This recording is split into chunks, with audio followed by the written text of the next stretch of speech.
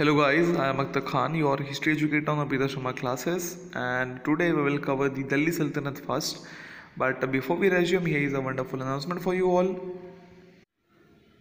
An Academy has got free test series for UPSC aspirants made by India's top educators और अब यहाँ पे जो है आपको एक तरीके से एक मौका मिल रहा है आप फ्रीली टेस्ट सीरीज़ ज्वाइन कर सकते हो ठीक है यहाँ पे जो है आपको टॉप एजुकेटर्स के बनाए हुए जो है टेस्ट सीरीज़ मिलेंगे, जो कि कंप्लीट सिलेबस यूपीएससी से होंगे ओके और यहाँ पे जो है T twenty daily current affair test series होगा, जहाँ पे twenty question twenty minutes forty marks के लिए होंगे डेली सेवन थर्टी पी इसके साथ आपको डिटेल्ड टेस्ट एनालिसिस सेशन भी दिया जाएगा।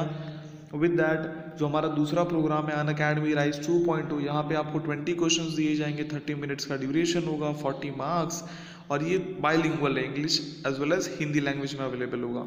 तीसरा आपका जो है अन अकेडमी इम्पल्स यहाँ पे थर्टी एम सी क्यू होंगे, साठ मार्क्स के फॉर फोर्टी मिनट्स और ये जो है मॉर्निंग टेन ए एम होगा।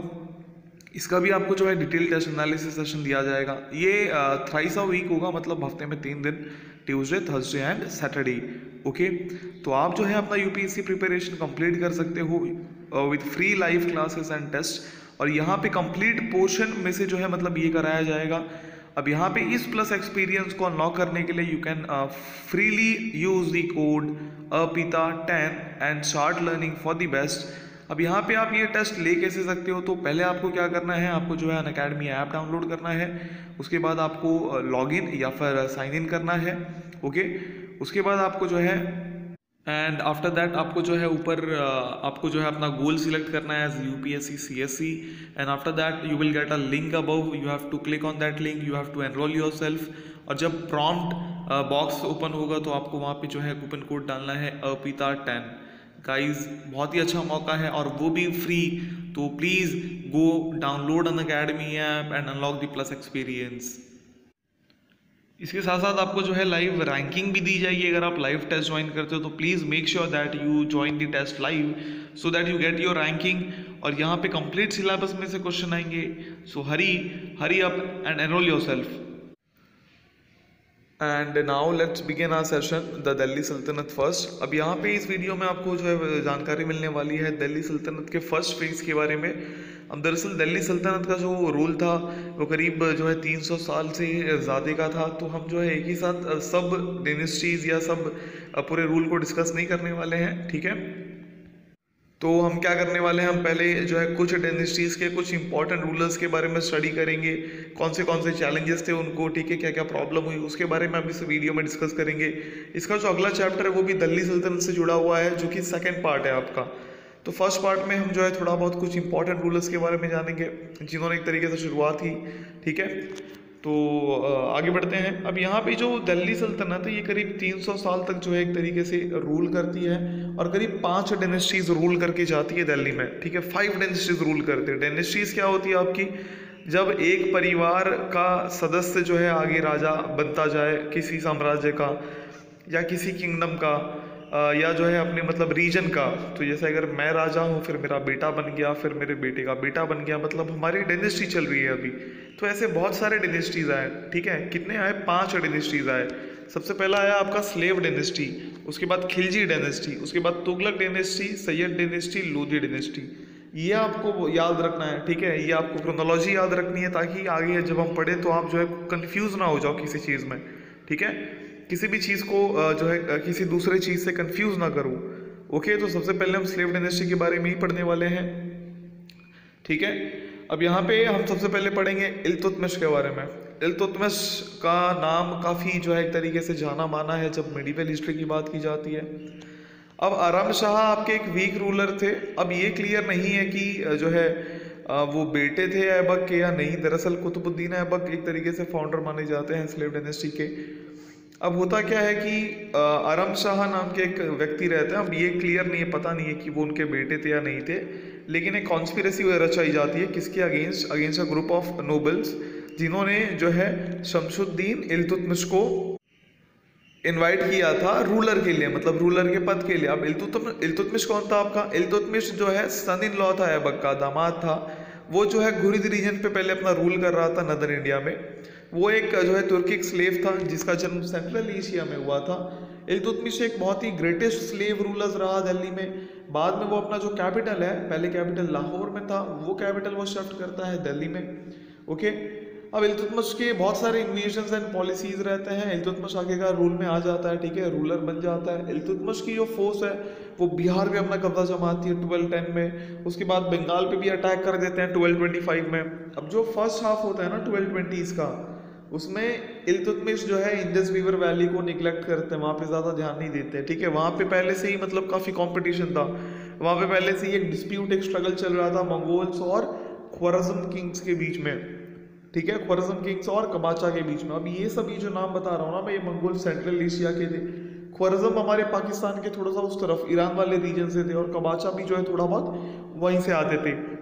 अब जब मंगोल एक तरीके से, जो है थोड़ा डिक्लाइन होने लगे अभी इस टाइम पे। देखो, ऐसा नहीं था कि मंगोल्स हमेशा से ही मतलब एकदम लोअर पोजीशन पे रहे। नहीं, आप आगे देखोगे कि मंगोल आगे आने वाले टाइम में कितने पावरफुल हो गए थे। अब थोड़ा सा जो है मंगोल डिक्लाइन होते हैं। ख्वारजमियन का थ्रेट थोड़ा कम होता है। कबाचा पूरे रीजन पे कब्जा कर लेते हैं। लेकिन इल्तुतमिश जो है फिर तुरंत अटैक कर देते हैं उसी टाइम ड्यूरिंग 1228 टू 1229 और उन्होंने जो है मतलब अपने एम्पायर को भी काफ़ी एक तरीके से जो है बचा के रखा। इल्तुतमिश ने यहाँ पे अटैक किया, इसके साथ वो अपने, अब इल्तुतमिश को खतरा भी बहुत सारा था, जैसे मंगोल मंगोल बहुत अटैक करते थे। आगे हम देखेंगे स्पेसिफिकली ठीक है, कि कैसे मतलब मंगोल जो है मतलब अटैक करते थे कंटिन्यूस अटैक और कैसे राजपूत को भी जो है एक तरीके से रजिश किया, रोक के रखा।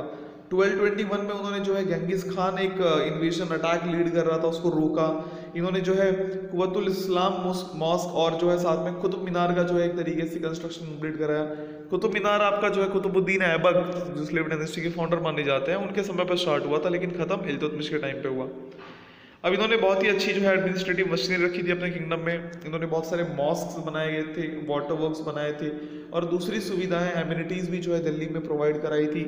और एक तरीके से मतलब एक उसको उस तरीके से ढाल दिया था दिल्ली को कि लगना चाहिए हाँ ये सीट ऑफ़ पावर है। इन्होंने दो सिक्के जो है इंट्रोड्यूस किए थे सल्तनत पीरियड में, ठीक है?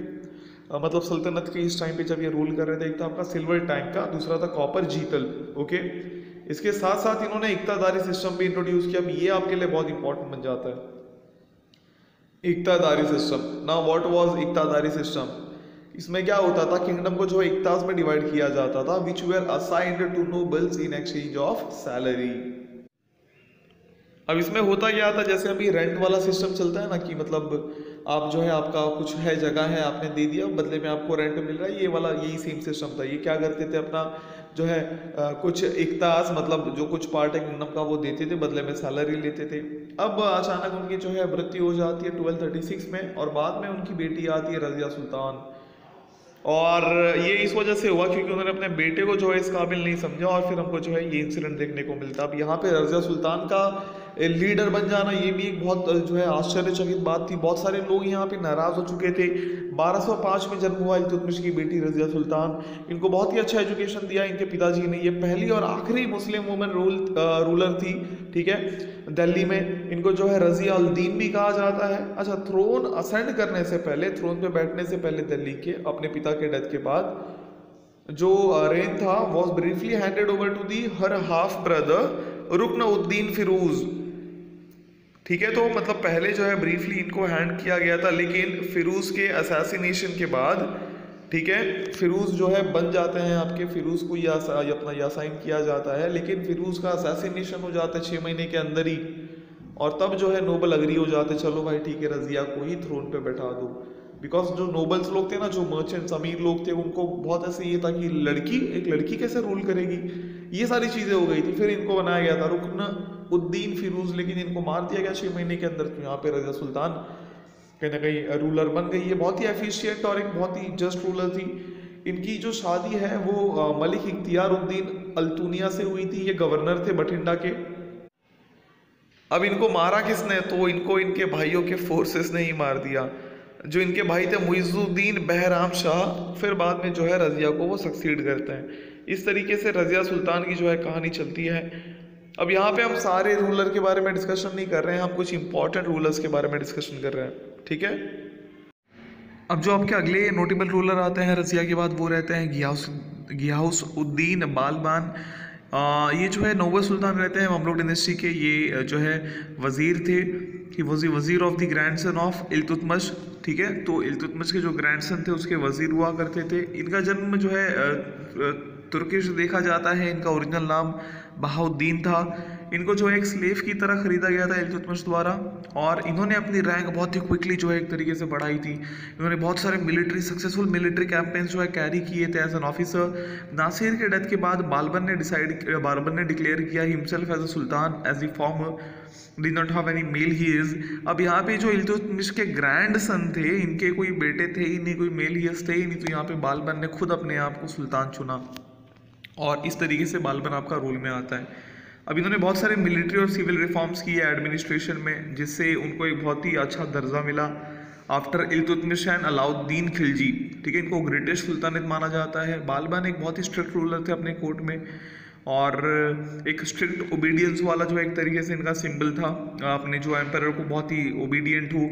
और ये जो है एक तरीके से ही even demanded that people prostrate before the king king के पहले लोगों को प्रोस्ट्रेट करना चाहिए। ये बहुत सारे पनिशमेंट्स इन्होंने लेट डाउन कर रखे थे। हर ऑफेंस हर ऑफेंसेस के लिए, ठीक है? ऑफेंसेस के लिए बाईस कॉट आयर्स और इसके साथ साथ इनके पास स्पाई सिस्टम भी था। आप सोचो कितने एडवांस थे वो। अपने नोबल्स को चेक रखने के लिए, ठीक है? कि मतलब जासूस रखे गए थे।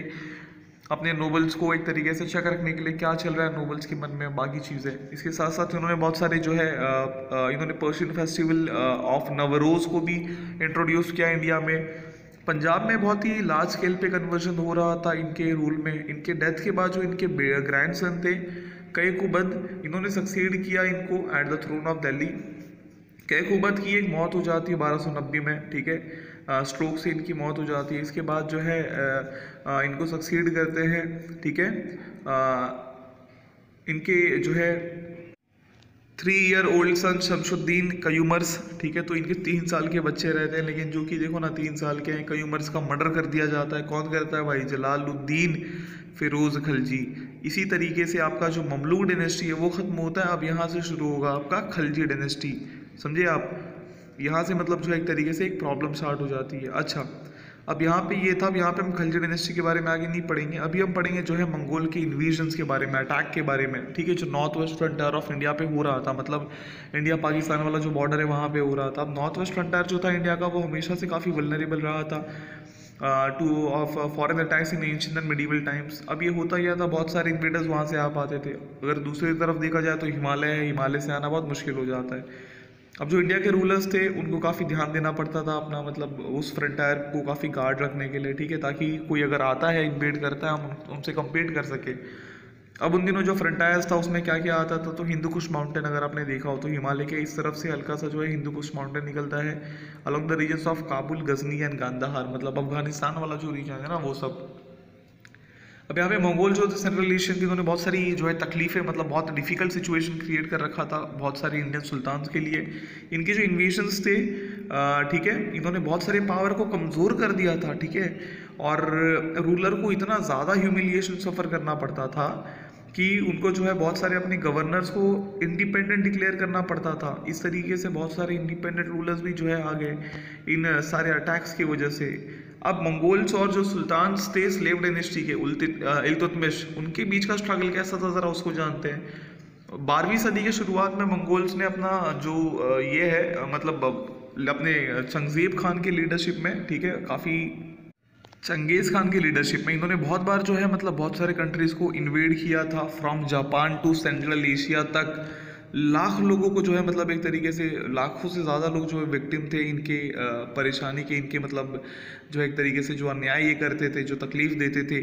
इंडिया बेरली जो है बच पा रहा था। जो शाह थे ख्वारिज्म के जलालुद्दीन जो थे उनको जो है फोर्स किया गया था भाई मंगोल्स द्वारा कि वो जो है अपना देश छोड़िए भागे।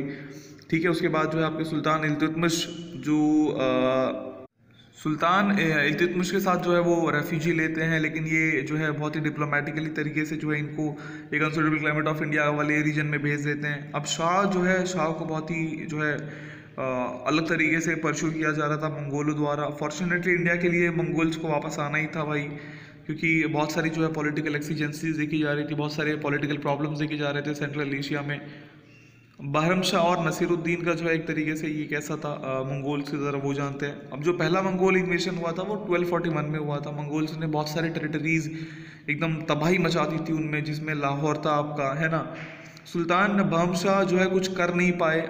दूसरा एडवर्स इफ़ेक्ट जो है मंगोल इन्वेशन का दिखा हमको सिंध और मुल्तान में। अच्छा ये सिंध, मुल्तान, लाहौर, ये आपका पाकिस्तान में आता है। मुल्तान आपका हल्का सा राजस्थान के जस्ट पैरेलल में आपको पाकिस्तान में मिलेगा, ठीक है?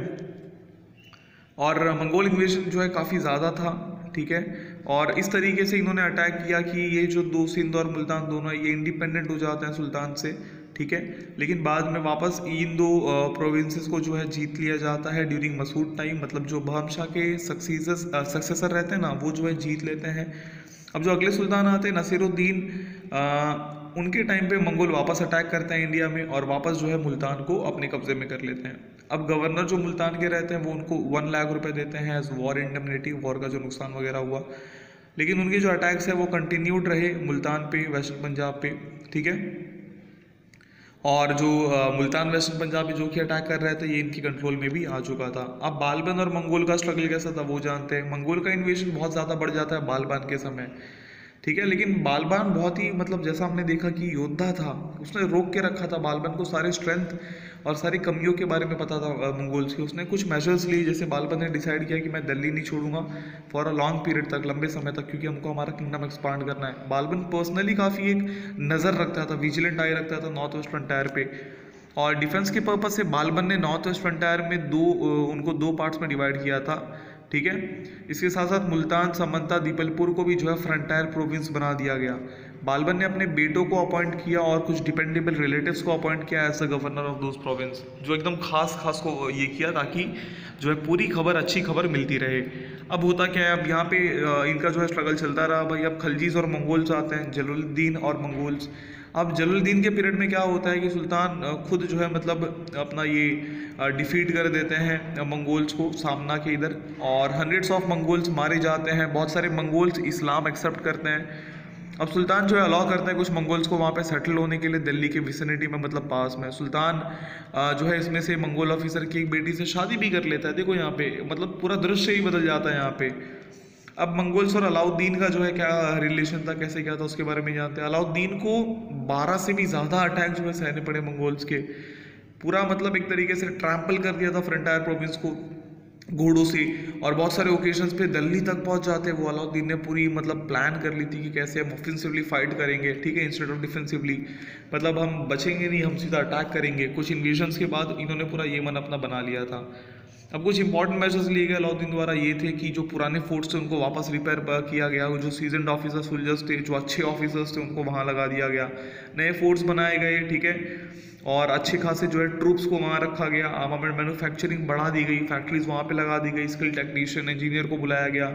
सेपरेट परमानेंट आर्मी जो है नॉर्थ वेस्ट फ्रंटार के लगा दी गई। इस तरीके से बहुत सारे मेजर्स लिए जा रहे लिए जा रहे थे to resist the Mongols attack अब मंगोल्स और तुगलक्स की बात करते हैं जिसमें घियासुद्दीन तुगलक पहले आते हैं। अब जो एक आपके मंगोल इन्वेजन थे जो हुआ इस टाइम पे आ, वो थोड़ा अलग हुआ क्योंकि यहाँ पे वो डिफीट कर जाते हैं मोहम्मद तुगलक। जब मंगोल इन्वेड करते हैं जब तामाशरीन जो है रूल करते हैं तो हिस्टोरियंस ने यहाँ पे डिफर किया regarding the Mohammad Tughlaq's policy एक वर्षन के हिसाब से यहाँ पे ये यह है कि उन्होंने मंगोल्स को हरा दिया और खुद जो है उसको मतलब भगा दिया वहाँ से। लेकिन जो दूसरा वर्जन है, वो बताता है कि मोहम्मद तुगलक जो है, उन्होंने ब्राइब किया मंगोल्स को और वो वापस चले गए। मतलब जो है, पैसे दे दिया और वो वापस चले गए। ऐसे दो वर्जन है।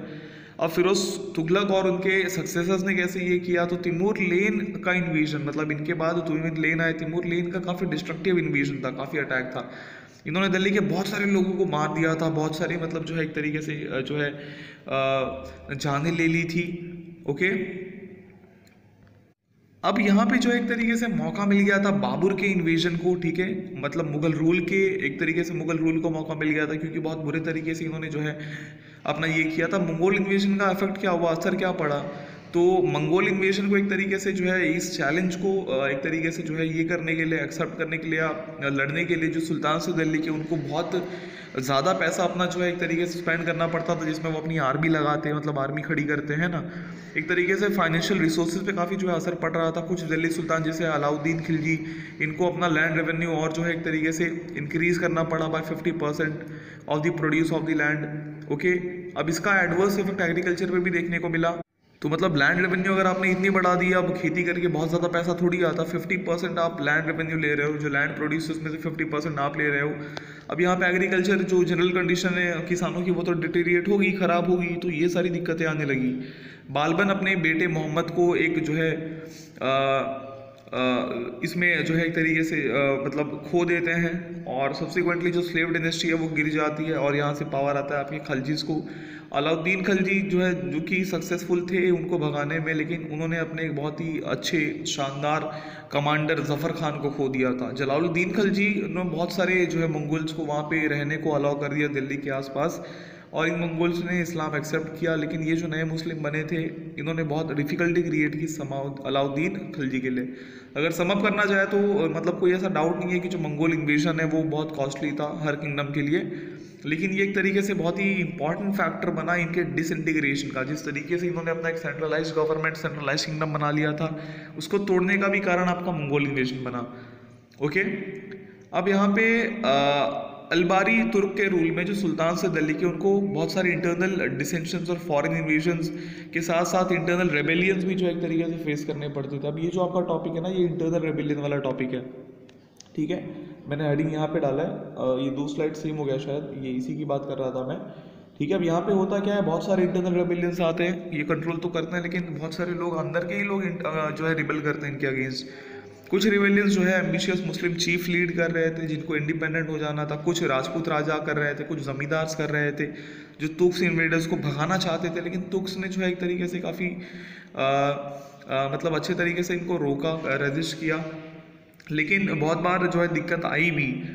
समझ में आ रहा है? मतलब जो ये जो है काफ़ी डिफ़िकल्टीज क्रिएट करते थे करते थे टर्किश रूलर्स के लिए। और इनको ऑर्गेनाइज करने के लिए at the expense of their weaker neighbours Turkish को बहुत ज़्यादा मेहनत करना पड़ा।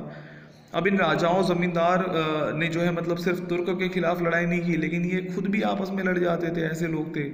जो इनका नेचर ऑब्जेक्टिव्स था, वो जो है मतलब अलग अलग इंटरनल रेबेलियंस का वो डिफ़र कर रहा था। सबका जो है मकसद एक नहीं था अलग अलग थे। तो अगर हम ऐसा कहें कि हिंदू रेजिस्टेंस था तो ये बिल्कुल गलत है। हिंदू रेजिस्टेंस नहीं था। सारे लोग, मुस्लिम्स लोग भी जो है अपना ये कर रहे थे। टर्किश रूलर्स के अगेंस्ट जो है रिबेल कर रहे थे। ओके तो आई होप कि आपको गाइज़ यहाँ तक जो है सब कुछ समझ आ गया होगा। अब यहाँ पे हम और थोड़ी कंडीशन जो है जानेंगे। ठीक है?